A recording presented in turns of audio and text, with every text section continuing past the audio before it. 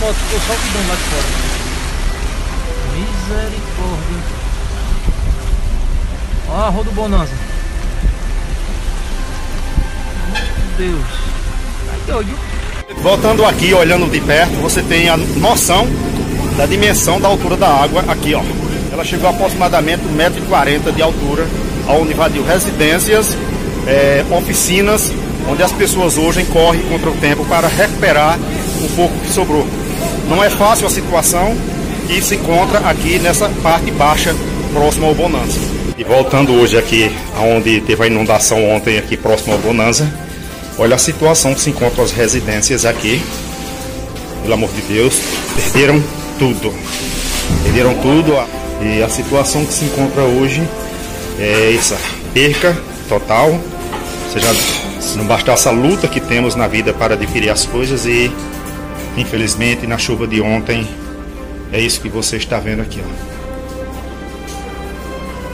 A água chegou a dar entre 50 e 60 centímetros aqui dentro dessa residência e hoje é isso, a destruição. Chegou na altura aí de quase um metro, né?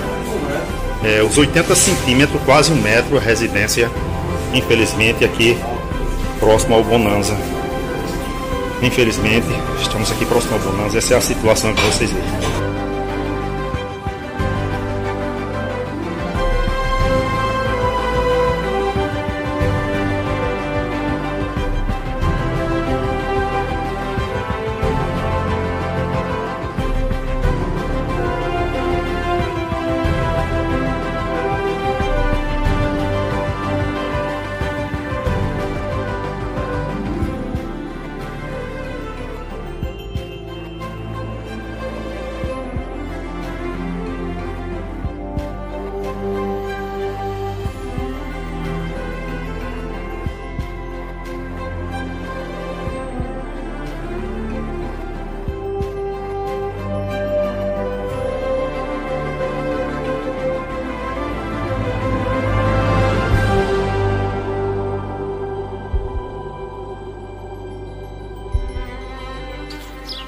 O clima era de desolação e tristeza.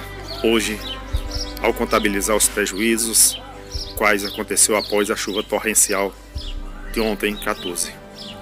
Era nítido no olhar das pessoas o prejuízo, móveis estragados, TV, fogão, cama, geladeiras. Foi triste a situação da chuva de ontem. O secretário de Serviços Públicos esteve por lá, onde ordenou ordens de serviço para que amenizasse a situação na localidade.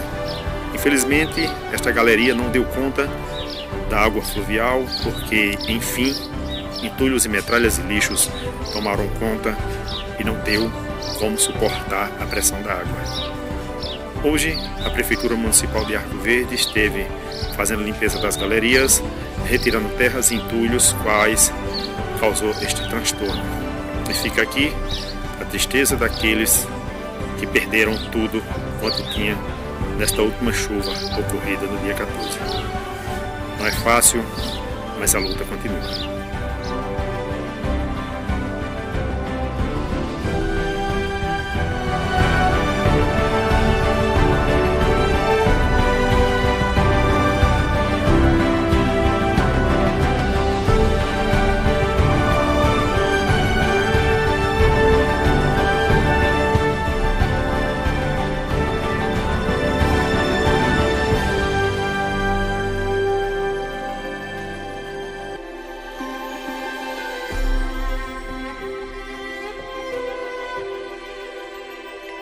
Portanto, a chuva deste dia 14 foi vista daqui de cima por várias pessoas aonde estava submerso, aqui próximo ao Bonanza, especificamente, entrou nas residências